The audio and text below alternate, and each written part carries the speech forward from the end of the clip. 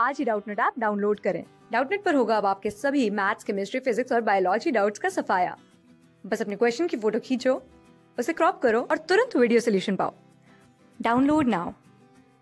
इस क्वेश्चन हमसे पूछा गया है कि ऑयल ड्रॉप में डैश ऑन हॉट वाटर ठीक है? तो इस क्वेश्चन के लिए हम सरफेस टेंशन के फिनोमेना को ध्यान रखते हैं।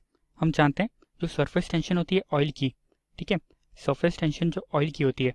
सरफेस टेंशन ऑफ़ ऑयल ठीक है ऑयल की जो सरफेस टेंशन होती है, वो कोल्ड वाटर के करस्पॉन्ड में क्या होती है? वो कोल्ड वाटर के करस्पॉन्ड में लेस होती है। सरफेस टेंशन ऑफ़ ऑयल होती है, वो लेस देन होती है कोल्ड वाटर ठीक है? Surface tension of oil is less than the surface tension of cold water तो क्या होता है?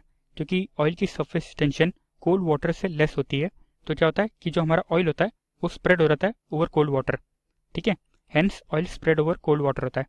Hence oil spreads over cold water surface tension of oil is less than cold water, hence oil spreads over cold water. ये हो जाता है हमारे पास। ठीक है? अभी बात की गई थी हॉट वाटर की। तो हॉट वाटर केस में क्या रहता है? जो सरफेस टेंशन होती है। ठीक है? हॉट वाटर के लिए हमारी जो सरफेस टेंशन होती है ऑयल की, वो ज़्यादा होती है। Surface tension of oil is greater than hot water ठीक है? Surface tension of oil is greater than hot water क्योंकि surface tension of oil greater than होती है दैट ऑफ़ हॉट वाटर इसलिए जो उसका शेप होता है, वो ड्रॉप में ही रह जाता है। ठीक है? तो ऑयल ड्रॉप में रिमेन अ ड्रॉप इसका आंसर था में रिमेन अ ड्रॉप क्योंकि जो सरफेस टेंशन होती है हॉट वाटर सरफेस टेंशन होती है, ठीक है ऑयल ड्रॉप की, वो हॉट वाटर से ज़्यादा होती है। इसलिए वो ऑयल ड्रॉप ही बना रहता है, ठीक है रिमेन अ ड्रॉप रहता है।